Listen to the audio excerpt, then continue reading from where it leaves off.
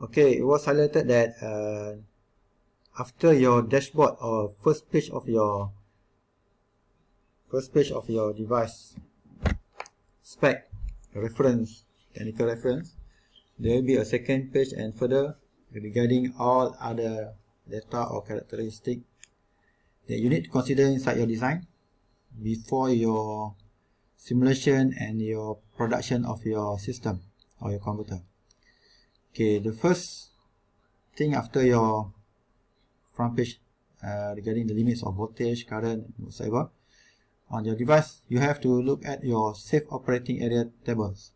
You can see here the device let's say we refer to device number one for this diode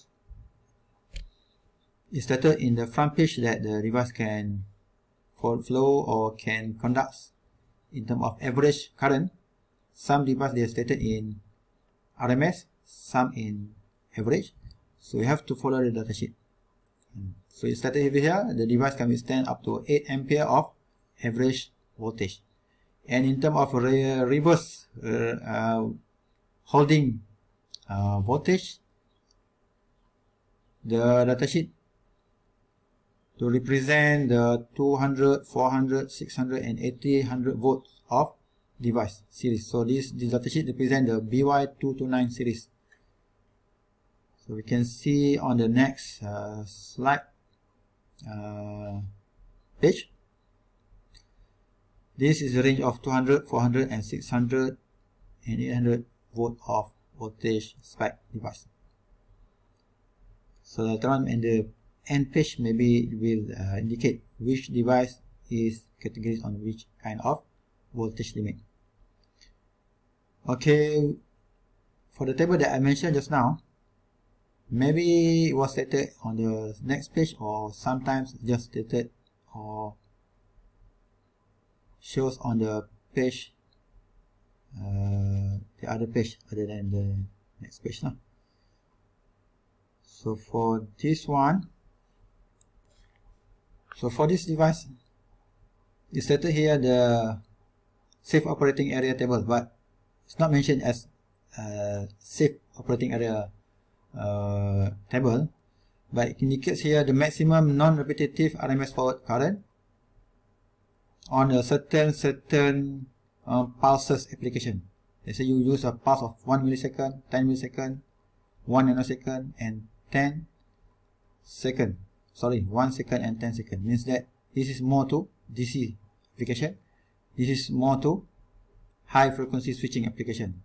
For high frequency wise, high frequency wise, we can go. You can you can use a pulses uh, uh, current up to certain tenth of ampere but you have to reduce to below 10 ampere the RMS volt uh, current when you use in switching range of 1 second to 10 second okay if we take a look at other datasheet maybe we refer to the second datasheet for the SCR, silicon control rectifier, triac now.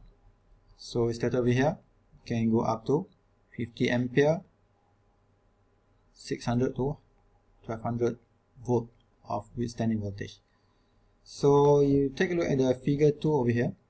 This is the average and DC on state current versus case temperature. So the safe operating area for this device is more related to how much you have to limit your current based on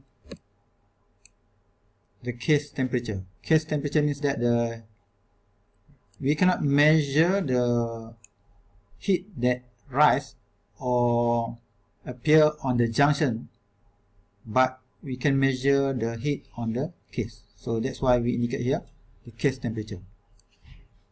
So a certain case temperature at certain case temperature let's say if the case temperature is maintained at if let's say we maintain the case temperature at 25 degrees C which is within a room temperature so both uh, BTW69, BTW uh, 6, 7, we are able to use or push in 50 ampere provided our conduction is on DC mode. But if you use alpha and conduction mode of 180 degrees, so we have to reduce uh, the current down to around 30 to 32 ampere. So what happens if we push more? So the heat will be rise up and you will exceed the limit. You have a blown uh, device. And it's like your car, you have a overrule or override your your limits, so your general uh, radiator will burst.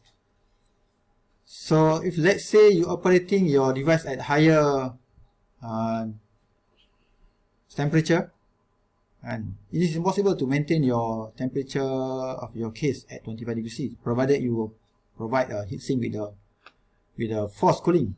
And in practical, maybe your heat of your case will be rise up to 100 volt, 100, 100 uh, degrees C, or somewhere around here from 80 to 100. So you have to reduce accordingly, not 50, not 40, but maybe around this area for this C application. For alpha, which is 180 degrees, maybe within 25 ampere only and below or below 20 ampere like that.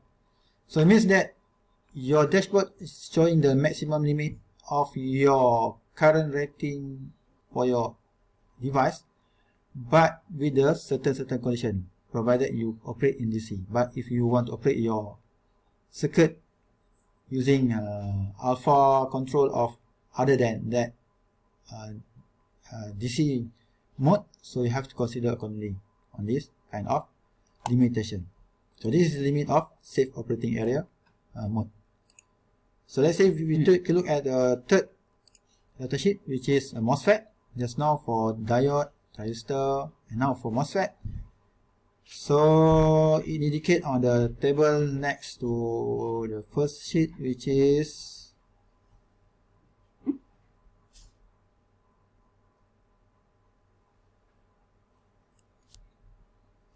which is indicate on the page number 6 and page number 6 here. You can see over here. From page number 6 stated there safe operating area so indicate the limit of your uh, capability of your device.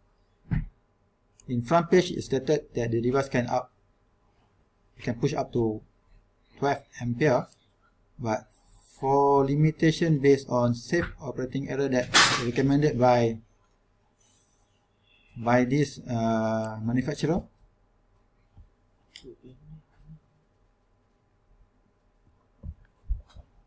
if based on temperature limit by the case you can see you have to reduce.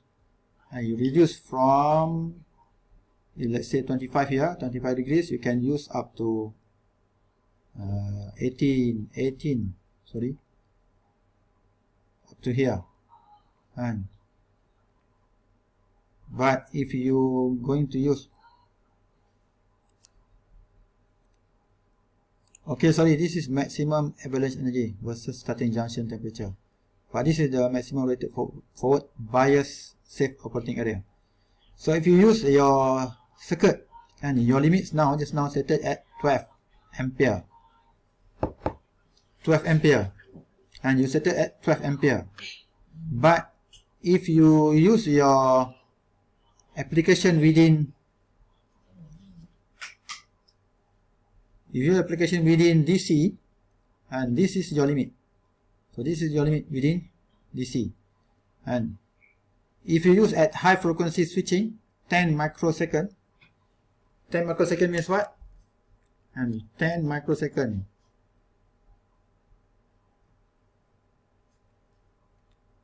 Means within few kilohertz 100 kilohertz let's say. So you're able to push your your device up to 12 ampere. But if you use within uh, 100 uh, 10 kilohertz or just 1 kilohertz so you have to reduce accordingly. So this is the range of the limit.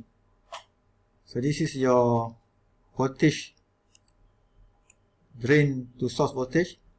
And it's stated that it can extend up to 100 volt but if you are using at certain certain uh, frequency so you have to reduce and based on this reference line. Okay let's say if you use you're going to use your converter to operate within 10 millisecond of operating 10 millisecond of operating frequency. And so you are going to use uh, let's say 10 20 volt of application.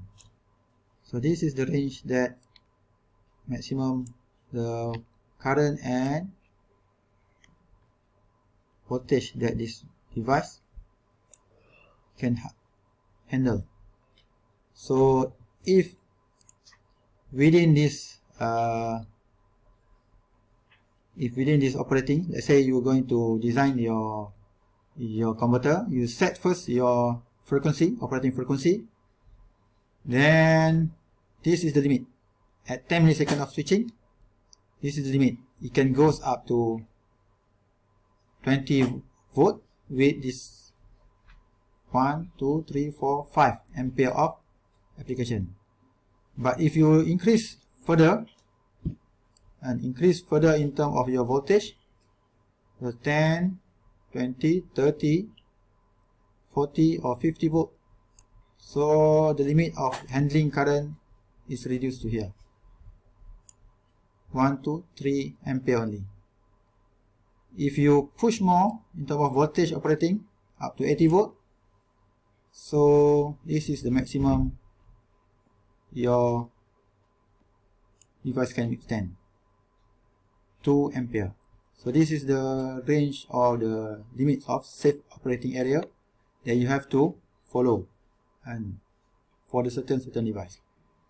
So it doesn't mean that when you select a MOSFET which can withstand up to 100 amps uh, sorry up to certain ampere and to 100 volt it applies to all your scenario. It based on this safe operating area on a certain certain frequency you have to reduce or downgrade your device based on this chart. So you have to take care on this safe operating area table